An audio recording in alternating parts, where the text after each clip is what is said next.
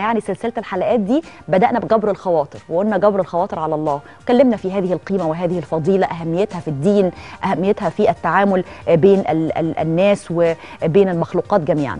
النهاردة الحقيقة القيمة اللي اخترناها لحضراتكم عشان كده بقول لكم أعتقد أن إحنا محتاجينها جدا.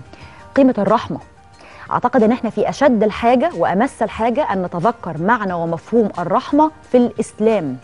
الرحمة يعني مظلة كبيرة جدا بتشمل تحتها كل المعاملات كل المعاملات بلا استثناء التي نصت عليها الأديان السماوية بين البشر وبين البشر ومخلوقات الله جميعا.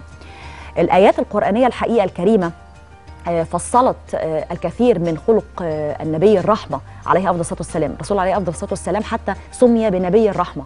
وعمقت هذه الآيات القرآنية الكريمة خلق الرحمة بوصفه خلقا محوريا نابعا من أسماء الله الحسنى فهو جل شأنه الرحمن الرحيم. ربنا سبحانه وتعالى يعني سمى نفسه الرحمن الرحيم اختص نفسه بهذه الصفة الرحمة.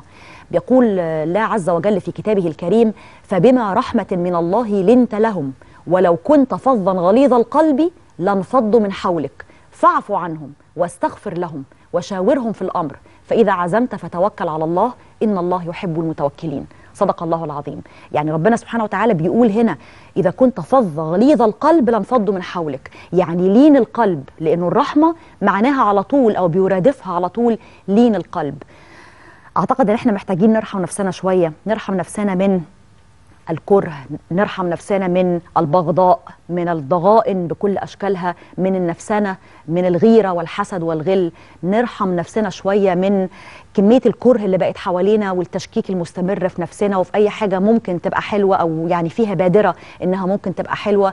أعتقد إنه الحديث عن معنى الرحمة ومفهوم الرحمة ودورها في حياة الفرد والمجتمع وإزاي المولى عز وجل لما اتكلم اتكلم عن الهدف من رسالة نبينا مصطفى عليه أفضل الصلاة والسلام قال وما أرسلناك إلا رحمة للعالمين.